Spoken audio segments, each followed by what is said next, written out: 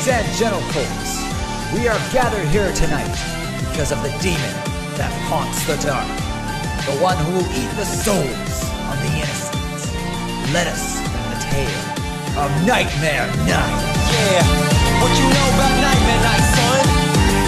Welcome Philly the gentle, cause no reason to scream Your favorite princess is back, she's walking up on the scene She has been stuck on the move, but that's no reason to fret. She's not a nightmare no more, so buckle down and get set. She's coming gracing the subject, she ain't leaving no choice. She's gonna blow you all back with her equestrian voice. So cover all of your fears and stow away all your fright. The Luna Princess is back to bring the nightmares tonight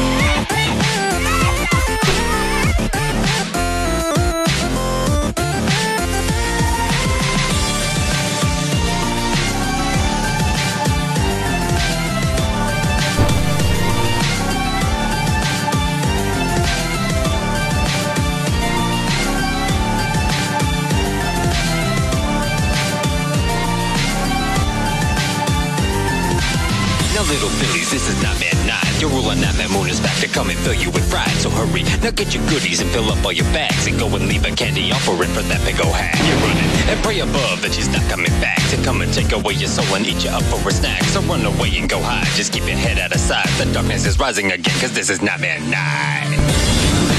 past, so you